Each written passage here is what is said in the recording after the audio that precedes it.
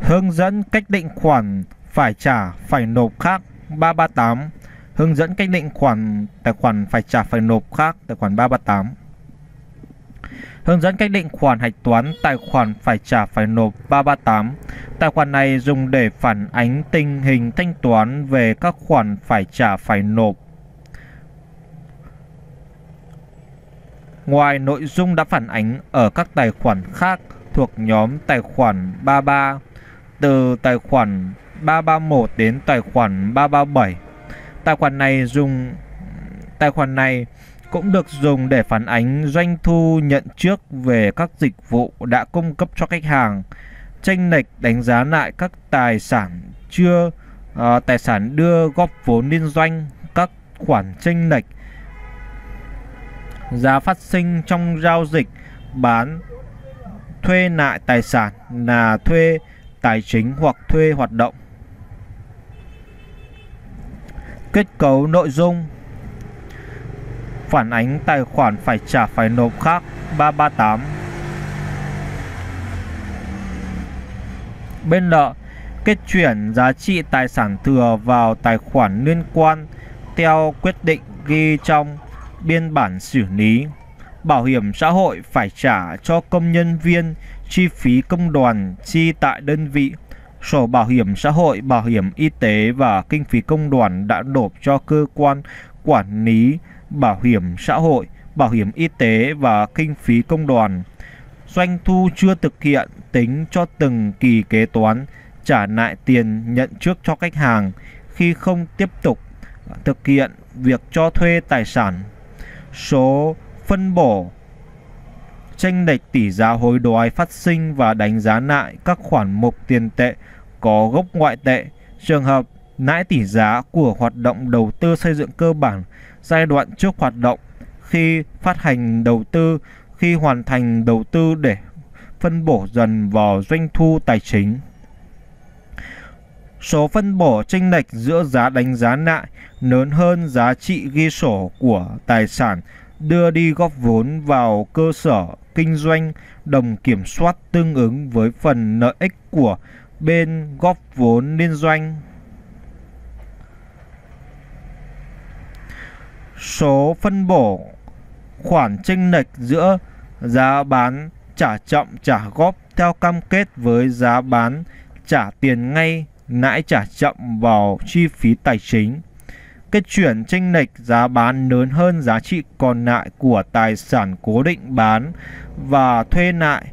là thuê tài chính ghi giảm chi phí sản xuất kinh doanh. Kết chuyển chênh lệch giá bán lớn hơn giá trị hợp lý của tài sản cố định bán và thuê lại là thuê hoạt động ghi giảm chi phí sản xuất kinh doanh. Chênh lệch, số chênh lệch giữa giá bán lại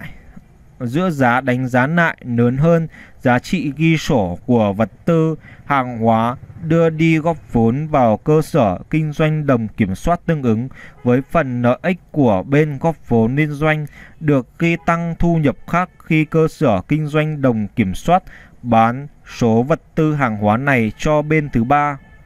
Nộp vào quỹ hỗ trợ sắp xếp doanh nghiệp số tiền thu hồi nợ phải thu đã thu được và tiền thu về nhượng bán thanh lý tài sản được loại trừ không tính vào giá trị doanh nghiệp khi cổ phần hóa doanh nghiệp nhà nước. Kết chuyển chi phí cổ phần hóa trừ vào số tiền nhà nước thu được từ cổ phần hóa công ty nhà nước, các khoản đã trả đã nộp khác. Bên có giá trị tài sản thừa chờ xử lý chưa xác định rõ nguyên nhân. Giá trị tài sản thừa phải trả cho cá nhân tập thể trong và ngoài đơn vị theo quyết định ghi trong biên bản xử lý do xác định ngày được do xác định ngay được nguyên nhân. Trích bảo hiểm xã hội, bảo hiểm y tế và kinh phí công đoàn vào chi phí sản xuất kinh doanh, trích bảo hiểm y tế, bảo hiểm xã hội, khấu trừ vào lương của nhân viên. Các khoản thanh toán với công nhân viên về tiền nhà, điện, nước ở tập thể, kinh phí công đoàn vượt chi được bù trừ, sổ bảo hiểm xã hội đã trích trả công nhân viên khi được cơ quan bảo hiểm xã hội thanh toán. Sổ bảo hiểm xã hội đã chi trả công nhân viên khi được cơ quan bảo hiểm xã hội thanh toán. Doanh thu chưa thực hiện phát sinh trong kỳ.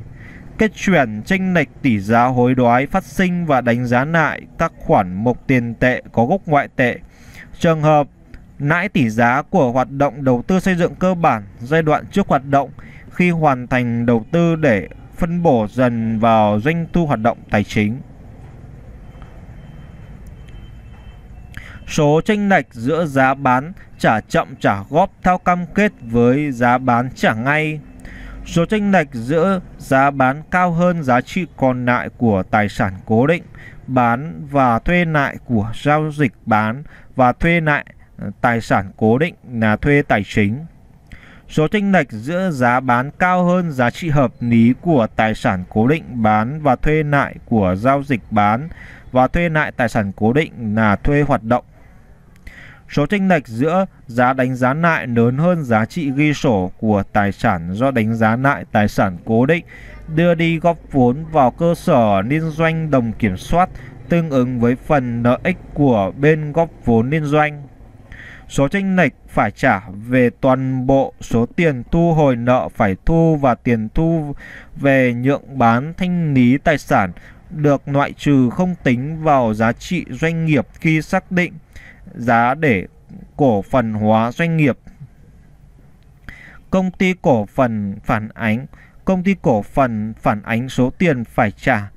về tổng số tiền thu được, về tiền thu hộ và nợ phải thu và tiền thu từ nhượng bán tài sản cố định, giữ hộ nhà nước được loại trừ không tính vào giá trị doanh nghiệp phản ánh tổng số tiền thu từ bán cổ phần thuộc vốn nhà nước. Các khoản phải thu khác. Số dư bên có số tiền còn phải số tiền còn phải còn phải nộp. Bảo hiểm xã hội, bảo hiểm y tế và kinh phí công đoàn đã trích nộp nộp cho cơ quan quản lý hoặc kinh phí công đoàn được để lại cho đơn vị chưa chi hết. Giá trị tài sản phát hiện thừa còn chờ giải quyết. Doanh thu chưa thực hiện ở thời điểm cuối kỳ kế toán. Tranh lệch tỷ giá hối đoái phát sinh và đánh giá lại các khoản mục tiền tệ có gốc ngoại tệ, lãi tỷ giá của hoạt động đầu tư xây dựng cơ bản giai đoạn trước hoạt động khi hoàn thành đầu tư chưa xử lý tại thời điểm cuối năm tài chính. Số tranh lệch giá bán cao hơn giá trị hợp lý hoặc giá trị còn lại của tài sản cố định bán và thuê lại chưa kết chuyển. Số tranh lệch giữa giá đánh giá lại lớn hơn giá trị ghi sổ của tài sản, đưa đi góp vốn vào cơ sở liên doanh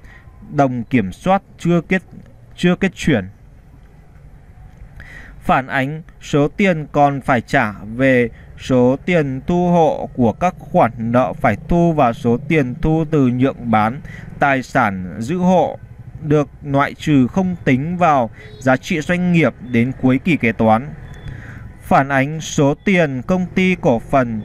còn phải trả về tiền thu hộ của, thu hộ các khoản nợ phải thu và tiền thu từ nhượng bán tài sản giữa hộ nhà nước đến cuối kỳ kế toán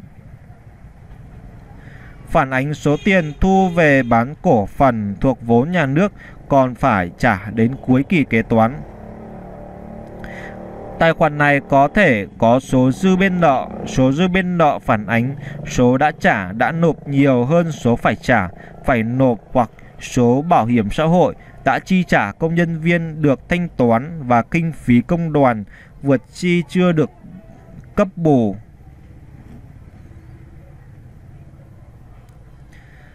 Tài khoản 338 phản ánh phải nộp khác có 8 tài khoản cấp 2. Tài khoản 3381 tài khoản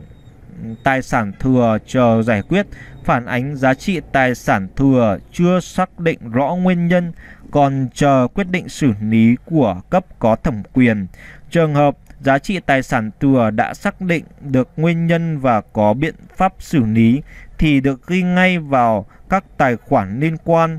không hạch toán qua tài khoản 338 3381 Tài khoản 3382 chi phí công đoàn, phản ánh tình hình trích và thanh toán kinh phí công đoàn ở đơn vị.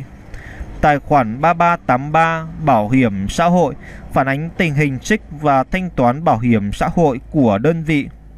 Tài khoản 3384 Bảo hiểm y tế phản ánh tình hình trích và thanh toán bảo hiểm y tế theo quy định. Tài khoản 3385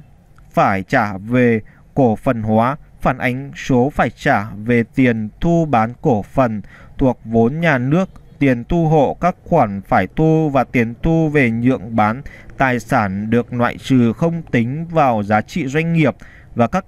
khoản phải trả khác theo quy định.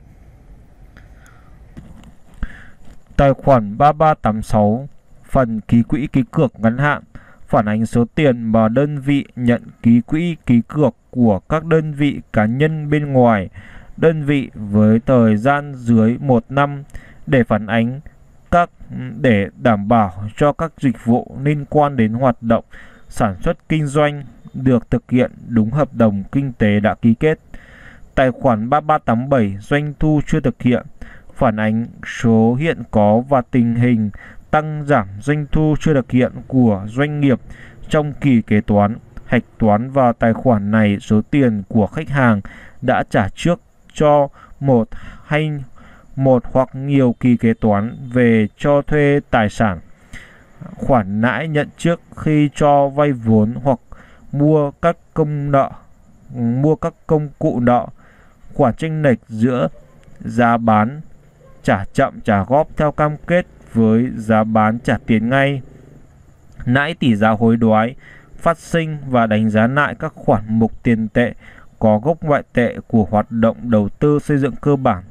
Giai đoạn trước hoạt động, khi hoàn thành đầu tư để phân bổ dần khoản chênh lệch giữa giá đánh giá lại lớn hơn giá trị ghi sổ của tài sản đưa đi góp vốn liên doanh tương ứng với phần lợi ích bên góp vốn nên doanh. Không hạch toán vào tài khoản này số tiền nhận trước của người mua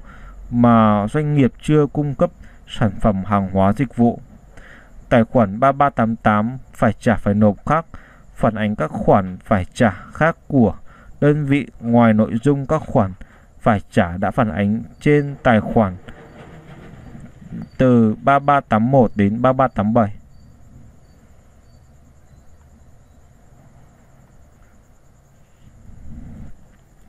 Hướng dẫn cách hạch toán định khoản một số nghiệp vụ kế toán phát sinh liên quan đến tài khoản phải trả phải nộp khác. 338 1. Trường hợp tài sản cố định phát hiện thừa chưa xác định rõ nguyên nhân phải chờ giải quyết, ghi nợ tài khoản 211 tài sản cố định hữu hình nguyên giá, có tài khoản 214 hao mòn tài sản cố định giá trị hao mòn có tài khoản 338 phải trả phần nộp khác 3381 giá trị còn lại. Đồng thời, căn cứ hồ sơ tài sản cố định để ghi tăng tài sản cố định trên sổ tài sản cố định. 2. Trường hợp vật tư, hàng hóa, tiền mặt tại quỹ phát hiện thừa qua kiểm kê chưa xác định rõ nguyên nhân phải chờ, giải quyết ghi nợ tài khoản 111 112 nợ tài khoản, nợ tài khoản 111 tiền mặt, nợ tài khoản 152 nguyên liệu vật liệu, nợ tài khoản 153 công cụ dụng cụ, nợ tài khoản 155 thành phẩm, nợ tài khoản 156 hàng hóa, nợ tài khoản 158 hàng hóa, kho bảo thuế có tài khoản 338 phải trả phần nộp khác 3381 ba Khi có biên bản xử lý của cấp có thẩm quyền về số tài sản thừa kế toán căn cứ và quyết định xử lý ghi vào các tài khoản liên quan. Ghi nợ tài khoản 338 phải trả phải nộp khác 3381 có tài khoản 411 nguồn vốn kinh doanh hoặc có tài khoản 441 nguồn vốn đầu tư xây dựng cơ bản có tài khoản 338 phải trả phải nộp khác 3388 có tài khoản 642 chi phí quản lý doanh nghiệp 4. Hàng tháng trích bảo hiểm xã hội, bảo hiểm y tế và kinh phí công đoàn vào chi phí sản xuất kinh doanh ghi nợ tài khoản 623 chi phí sử dụng máy thi công, nợ tài khoản 622 chi phí nhân công trực tiếp, nợ tài khoản 627 chi phí sản xuất chung, nợ tài khoản 641 chi phí bán hàng, nợ tài khoản 642 chi phí quản lý doanh nghiệp. Có tài khoản 338 phải trả phải nộp khác 3382, 3383, 3384. 5. Tính số tiền bảo hiểm y tế, bảo hiểm xã hội trừ vào lương của công nhân viên ghi nợ tài khoản 334 phải trả phải nộp, có tài khoản 338 phải trả phải nộp khác 3384. 6. Nộp bảo hiểm xã hội, kinh phí công đoàn cho cơ quan quản lý quỹ và khi mua thẻ bảo hiểm y tế cho công nhân viên ghi nợ tài khoản 338 phải trả phải nộp khác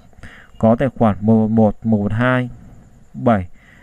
Tính bảo hiểm xã hội phải trả cho công nhân viên khi nghỉ ốm đau thai sản ghi nợ tài khoản 338 phải trả phải nộp khác 3383 có tài khoản 334 phải trả người lao động 8 chi tiêu chỉ chỉ tiêu uh, kinh phí công đoàn tại đơn vị ghi chi tiêu kinh phí công đoàn tại đơn vị ghi nợ tài khoản 338 phải trả phải nộp khác 3382 3383 có tài khoản 111 112 9 kinh phí công đoàn chi vượt được bù, được cấp bù khi nhận được tiền ghi nợ tài khoản 111 tiền mặt, nợ tài khoản 112 tiền gửi ngân hàng.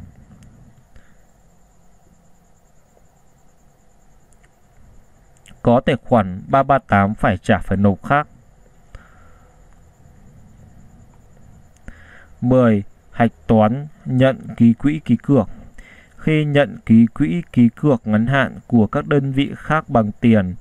ghi nợ các tài khoản 111, 1111, 1113, 112 có tài khoản 338 phải trả phải nộp khác 3386. Trường hợp đơn vị ký quỹ, ký cược vi phạm hợp đồng kinh tế đã ký kết với doanh nghiệp bị phạt theo thỏa thuận trong hợp đồng kinh tế. Đối với khoản tiền phạt khấu trừ vào tiền ký quỹ, ký cược của người ký quỹ, ký cược ghi nợ tài khoản 338 phải trả phải nộp khác 3386 đối với khoản ký quỹ, ký cược ngắn hạn có tài khoản 711 thu nhập khác khi thực hiện trả khoản ký quỹ ký cược cho người ký quỹ ký cược ghi nợ tài khoản 338 phải trả phải nộp khác 3386 trả ừ, đã trừ khoản tiền phạt nếu có có các có các tài khoản 111, 142. 11. Xác định số lãi phải trả cho các bên tham gia liên doanh cổ tức phải trả cho các cổ đông theo quy định của đại hội cổ đông ghi nợ tài khoản 421 lợi nhuận chưa phân phối, có tài khoản 338 phải trả phần nộp khác 3388 12 hạch toán doanh thu chưa thực hiện về cho thuê tài sản cố định bất động sản đầu tư theo phương thức cho thuê hoạt động. Doanh thu của kỳ kế toán được xác định bằng tổng số tiền cho thuê hoạt động tài sản cố định bất động sản đầu tư đã thu chia chia cho số kỳ thu tiền trước cho thuê hoạt động tài sản cố định bất động sản đầu tư. A. Đối với đơn vị tính thuế giá trị tăng phải nộp theo phương pháp khấu trừ thuế khi nhận tiền của khách hàng trả trước về cho thuê tài sản cố định, bất động sản đầu tư trong nhiều năm, kế toán phản ánh doanh thu chưa thực hiện theo giá chưa có thuế giá trị tăng, ghi nợ các tài khoản 111, 112 tổng số tiền nhận trước, có tài khoản 3387 doanh thu chưa thực hiện, giá cho thuê chưa có thuế giá trị gia tăng, có tài khoản 3331 thuế giá trị tăng phải nộp 33311 khi tính và khi nhận doanh thu của từng kỳ kế toán ghi nợ tài khoản 3387 doanh thu chưa thực hiện có tài khoản 511 doanh thu bán hàng và cung cấp dịch vụ 5113 5117 trường hợp hợp đồng cho thuê tài sản không được thực hiện phải trả lại tiền cho khách hàng ghi nợ tài khoản 3387 doanh thu chưa thực hiện giá cho uh, giá cho thuế thuê chưa có thuế giá trị tăng.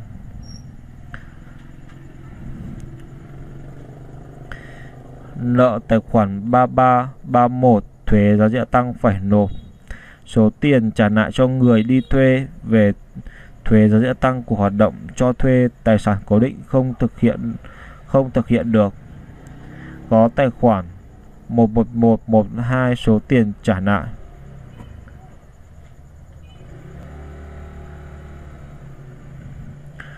B.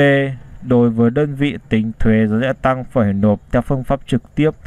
khi nhận tiền của khách hàng trả trước về cho thuê tài sản trong nhiều năm kế toán phản ánh doanh thu nhận trước theo tổng số tiền đã nhận ghi nợ tài khoản 111 112 có tài khoản 333 3387 doanh thu chưa thực hiện tổng số tiền nhận trước khi tính và ghi nhận doanh thu của từng kỳ kế toán ghi nợ tài khoản 3387 doanh thu chưa thực hiện, có tài khoản 511 doanh thu bán hàng và cung cấp dịch vụ 5113 5117 kế toán phản ánh số tiền thuế giá trị tăng phải nộp theo phương pháp trực tiếp, ghi nợ tài khoản 511 doanh thu bán hàng và cung cấp dịch vụ 5113 5117 có tài khoản 3331 thuế giá trị tăng phải nộp 33311 Trường hợp hợp đồng thuê tài sản không được thực hiện phải trả lại tiền cho khách hàng. Ghi nợ tài khoản 3387 doanh thu chưa thực hiện, có tài khoản 111 112 số tiền trả lại. 13. Hạch toán trường hợp bán hàng theo phương thức trả chậm, trả góp. A. Đối với hàng hóa trả chậm, trả góp thuộc đối tượng chịu thuế giá trị tăng tính theo phương pháp khấu trừ. Khi bán hàng hóa trả chậm, trả góp thì ghi nhận doanh thu bán hàng và cung cấp dịch vụ của kỳ kế toán. Theo giá bán trả tiền ngay, phần chênh lệch giữa giá bán trả chậm trả góp với giá bán trả tiền ngay ghi vào tài khoản. Doanh thu chưa thực hiện, ghi nợ tài khoản 111 112 131 có tài khoản 511 doanh thu bán hàng và cung cấp dịch vụ theo giá bán trả tiền ngay chưa có thuế, giá trị gia tăng. Có tài khoản 3387 doanh thu chưa thực hiện phần chênh lệch giữa giá bán trả chậm, trả góp với giá bán trả tiền ngay chưa có thuế, giá trị gia tăng. Có tài khoản 333 thuế và các khoản phải nộp nhà nước 3331 ờ, hàng ký, hàng hàng kỳ tính xác định kết quả doanh thu, tiền lãi, bán hàng trả chậm trả góp trong kỳ. Ghi nợ tài khoản 3387 doanh thu chưa thực hiện, có tài khoản 515 doanh thu hoạt động tài chính. Khi thực hiện thu tiền bán hàng trả chậm trả góp, trong đó gồm cả phần chênh lệch giữa ờ, giá bán trả chậm trả góp với giá bán trả tiền ngay ghi nợ tài khoản 111 112 có tài khoản 131 phải thu của khách hàng. B đối với hàng B đối với hàng bán trả chậm trả góp không thuộc đối tượng chịu thuế giá trị tăng hoặc thuộc đối tượng chịu thuế giá trị tăng theo phương pháp trực tiếp Khi bán hàng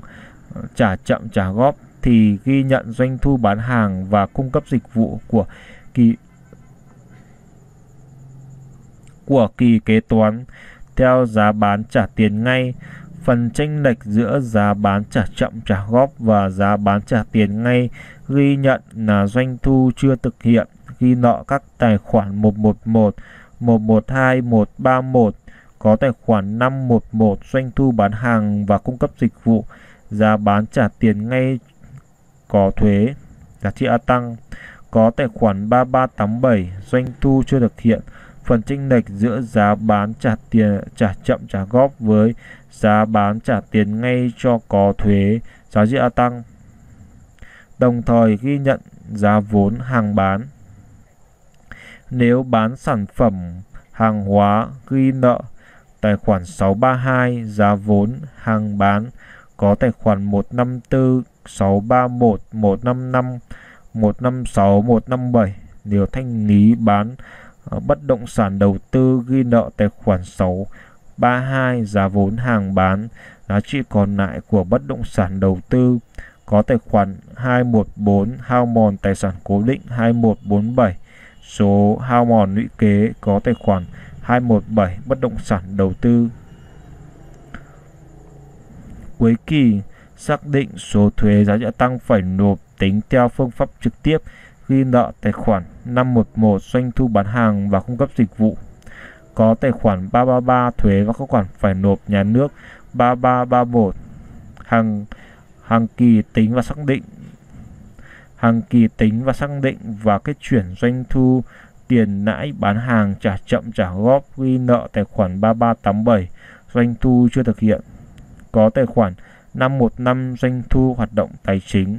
khi thực hiện thu tiền bán hàng trả chậm trả góp trong đó gồm cả phần lãi bán hàng trả chậm trả góp ghi nợ các tài khoản 111, 112 có tài khoản 131 phải thu của khách hàng. 14. Trường hợp bán và thuê lại tài sản cố định là thuê tài chính có giá bán lớn hơn giá trị còn lại của à, tài sản cố định bán và thuê lại khi hoàn tất thủ tục bán tài sản căn cứ vào hóa đơn và các chứng từ liên quan ghi nợ các tài khoản 111, 112 tổng giá thanh toán. Có tài khoản 711 thu nhập khác theo giá trị còn lại của tài sản cố định bán và thuê lại. Có tài khoản 3387 doanh thu chưa thực hiện, chênh lệch giữa giá bán lớn hơn giá trị còn lại của tài sản cố định. Có tài khoản 3331 thuế giá trị tăng phải nộp, đồng thời quy giảm tài sản cố định. Nợ tài khoản 811 chi phí khác, giá trị còn lại của tài sản cố định bán và thuê lại. Nợ tài khoản 214 hao mòn tài sản cố định, giá trị hao mòn nếu có, có tài khoản 211 tài sản cố định hữu hình nguyên giá tài sản cố định. Định kỳ kết chuyển chênh lệch lớn hơn lãi giữa giá bán và giá trị còn lại của tài sản cố định bán và thuê lại ghi giảm chi phí sản xuất kinh doanh trong kỳ phù hợp với thời gian thuê tài sản ghi nợ tài khoản 3387 doanh thu chưa thực hiện có tài khoản 623, 627, 641 và 642. 10 năm kế toán, kết chuyển, chênh lệch tỷ giá hối đoái khi kết thúc giai đoạn đầu tư, xây dựng cơ bản giai đoạn trước hoạt động của hoạt động đầu tư. Nếu tài khoản 413 chênh lệch tỷ giá hối đoái có số dư bên có được tính ngay vào doanh thu hoạt động tài chính hoặc kết chuyển sang tài khoản 3387 doanh thu chưa thực hiện để phân bổ trong thời gian tối đa là 5 năm ghi nợ tài khoản 413 chênh lệch tỷ giá hối đoái 4132 có tài khoản 515 doanh thu hoạt động tài chính, có tài khoản 3387 doanh thu chưa thực hiện lãi tỷ giá đối hối đoái. Nếu phải phân bổ dần, phân bổ lãi tỷ giá hối đoái đã thực hiện phát sinh trong giai đoạn đầu tư xây dựng cơ bản vào doanh thu hoạt động tài chính của năm tài chính, khi kết thúc giai đoạn đầu tư đưa tài sản cố định vào sử dụng ghi nợ tài khoản 3387 doanh thu chưa thực hiện, có tài khoản 515 doanh thu hoạt động tài chính lãi tỷ giá hối đoái. 16 khi góp vốn vào cơ sở kinh doanh đồng kiểm soát bằng tài sản cố định, có giá đánh giá lại cao hơn giá trị còn lại của tài sản cố định đem đi góp vốn, doanh nghiệp ghi nhận số thu nhập của tài khoản 711 doanh thu uh, thu nhập khác phần chênh lệch giữa giá đánh giá lại lớn hơn giá trị còn lại tương đương với phần lợi nhuận tương đương với phần lợi ích của các bên khác trong liên doanh và ghi nhận vào tài khoản. 3387 doanh thu chưa thực hiện phần chênh lệch giữa giá đánh giá lại lớn hơn giá trị còn lại tương ứng với phần lợi ích của mình trong liên doanh ghi nợ tài khoản 222 vốn góp liên doanh theo giá đánh giá, nợ tài khoản 214 hao mòn tài sản cố định 2147 số khấu hao đã trích có tài khoản 211 213 nguyên giá có tài khoản 711 thu nhập khác, phần chênh lệch giữa giá đánh giá với giá trị còn lại tương ứng với phần lợi ích của các bên khác trong liên doanh. Có tài khoản 3387 doanh thu chưa thực hiện, phần chênh lệch giữa giá đánh giá và giá giá trị còn lại tương ứng với phần lợi ích của mình trong liên doanh. Định kỳ căn cứ vào thời gian sử dụng hữu ích của tài sản cố định mà cơ sở kinh doanh đồng kiểm soát sử dụng phân bổ số doanh thu chưa thực hiện vào thu nhập khác trong kỳ ghi nợ tài khoản 3387 doanh thu chưa thực hiện, có tài khoản 711 thu nhập khác. 18 kế toán nghiệp vụ giao dịch. Kế toán nghiệp vụ giao dịch giữa một bên góp vốn liên doanh.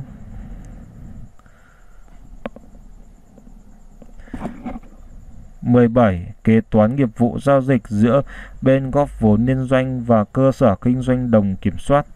17.1 Trường hợp bên góp vốn liên doanh bán tài sản cho cơ sở kinh doanh đồng kiểm soát.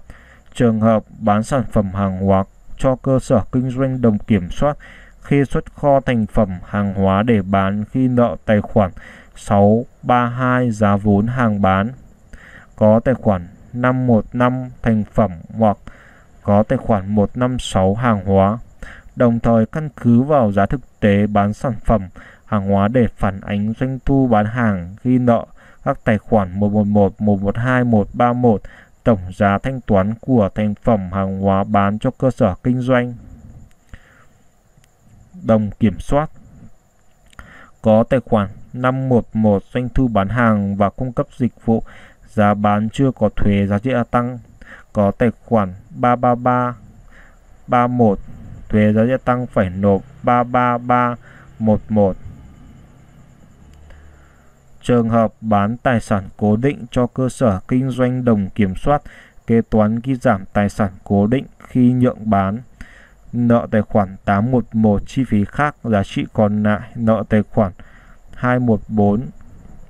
hao mòn tài sản cố định giá trị hao mòn tài sản cố định có tài khoản 211 213 nguyên giá đồng thời ghi nhận thu nhập khác có do tài sản cố định theo giá bán thực tế cho đồng thời ghi nhận thu nhập khác do tài sản cố định theo giá bán thực tế cho cơ sở kinh doanh đồng kiểm soát nợ tài khoản 111, 112, 131 có tài khoản 711 thu nhập khác có tài khoản 333 thuế và các khoản phải nộp nhà nước 33311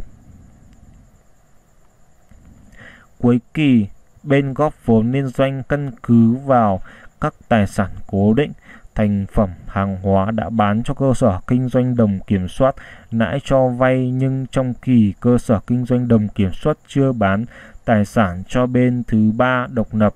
bên góp vốn liên doanh phải phản ánh hoãn lại bên góp vốn phải phản ánh hoãn lại và khi nhận là doanh thu chưa thực hiện, phần lãi do bán tài sản cố định, thành phẩm, hàng hóa tương ứng với phần lợi ích của mình trong liên doanh. Trường hợp bán thành phẩm hàng hóa, ghi nợ tài khoản 511 doanh thu, bán hàng và cung cấp dịch vụ. Phần lãi hoãn lại do bán thành phẩm hàng hóa tương ứng với phần lợi ích của mình trong liên doanh. Có tài khoản 3387 doanh thu chưa thực hiện. Trường hợp bán tài sản cố định, ghi nợ tài khoản 711 thu nhập khác. Phần lãi hoãn lại do bán tài sản cố định tương ứng với phần lợi ích của mình trong liên doanh có tài khoản 3387 doanh thu chưa thực hiện. Trong kỳ kế toán, sau khi cơ sở kinh doanh đồng kiểm soát bán thành phẩm hàng hóa cho bên thứ ba độc lập,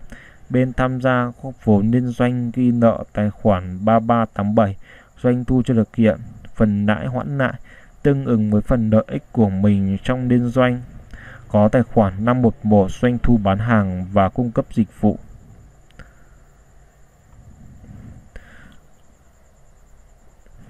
Đối với tài sản cố định, định kỳ, bên tham gia góp vốn liên doanh phân bổ dần lãi hoãn lại tương ứng với phần lợi ích của mình trong liên doanh vào thu nhập khác căn cứ vào thời gian sử dụng hữu ích của tài sản cố định mà cơ sở kinh doanh đồng kiểm soát sử dụng.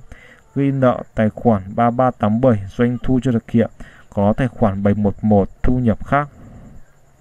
Khi cơ sở kinh doanh đồng kiểm soát bán tài sản mua từ bên góp vốn cho bên thứ ba độc lập. Bên góp vốn nên doanh ghi nợ tài khoản 3387 doanh thu chưa được hiện, phần lãi tương ứng với phần lợi ích của mình trong liên doanh còn lại chưa phân bổ vào thu nhập khác. Có tài khoản 711 thu nhập khác. 17.2 trường hợp bên góp vốn liên doanh mua tài sản của cơ sở kinh doanh đồng kiểm soát. Khi mua tài sản từ cơ sở kinh doanh đồng kiểm soát căn cứ hóa đơn chứng từ liên quan kế toán ghi nhận tài sản hàng hóa mua về như mua các như mua của các nhà cung cấp khác. 18. Kế toán phản ánh kế toán khoản phải trả về thu bán cổ phần thuộc vốn nhà nước từ thời điểm xác định giá trị doanh nghiệp đến thời điểm uh, doanh nghiệp nhà nước chính thức chuyển sang công ty cổ phần nếu thu được các khoản nợ, khoản ờ, thu được các khoản nợ phải thu và tiền thu về nhượng bán tài sản được loại trừ không tính vào giá trị doanh nghiệp kế toán phản ánh toàn bộ số tiền thu được phải nộp hộ vào quỹ hỗ trợ sắp xếp doanh nghiệp ghi nợ tài khoản 111 112 có tài khoản 3385 phải trả về cổ phần hóa. Đồng thời, hạch toán vào bên có của tài khoản 002 đầu tư hàng hóa nhận giữ nhận giữ hộ, nhận gia công, tài khoản ngoài bảng cân đối kế toán. Giá trị về vật tư hàng hóa, tài sản giữ hộ nhà nước được loại trừ không tính vào giá trị doanh nghiệp đã bán được khi nộp tiền thu hộ. Ừ, khi nộp tiền thu hồi, các khoản nợ phải thu về, tiền thu về nhượng bán tài sản không tính vào giá trị doanh nghiệp vào quỹ hỗ trợ sắp xếp doanh nghiệp. Nợ tài khoản 3385 phải trả về cổ phần hóa, có tài khoản 111 112 khi bán cổ phần thuộc vốn nhà nước cho các cổ đông ghi nợ tài khoản 111 112 có tài khoản 3385 phải trả phải nộp khác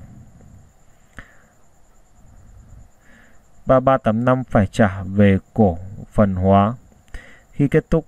quá trình cổ phần hóa, doanh nghiệp phải báo cáo và thực hiện quyết toán chi phí cổ phần hóa với cơ quan quyết định cổ phần hóa. Tổng chi phí được trừ vào tiền thu từ bán cổ phần thuộc phần vốn nhà nước tại doanh nghiệp kế toán kết chuyển. Chi phí cổ phần hóa đã được duyệt, ghi nợ tài khoản 3385 phải trả về cổ phần hóa, chi tiết tiền thu bán cổ phần thuộc vốn nhà nước có tài khoản 33 có tài khoản 1385 phải thu về cổ phần hóa, chi tiết chi phí cổ phần hóa khi nộp tiền tranh lệch giữa tổng số thu về bán cổ phần thuộc vốn nhà nước lớn hơn so với chi phí cổ phần hóa vào quỹ hỗ trợ sắp xếp doanh nghiệp khi nợ tài khoản 3385 phải trả về cổ phần hóa có tài khoản 11 112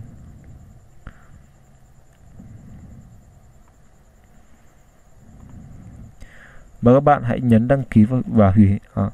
và các bạn hãy nhấn đăng ký và hiển thị tên ngoài ra các bạn phải nhấn vào tên của kênh này để xem thêm nhiều video nữa.